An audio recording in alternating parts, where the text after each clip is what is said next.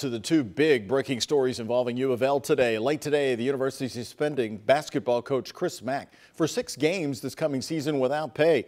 That news came just one hour before the ex-assistant coach Dino Gaudio learned his sentencing and his extortion of Mack. And moments ago, through an open records request with the university, WHAS 11 News got the recording at the center of the charges. Here's Gaudio talking to Mack about being fired.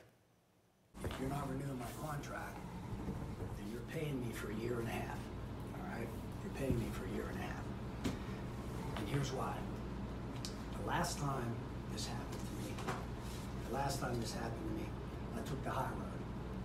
I took the high road. Gaudio threatened to go to the NCAA and the news media about alleged violations if he didn't get paid his salary for a year and a half.